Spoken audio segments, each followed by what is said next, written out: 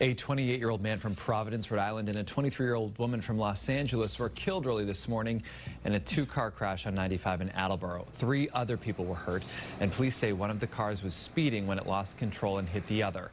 The victims' names have not been released.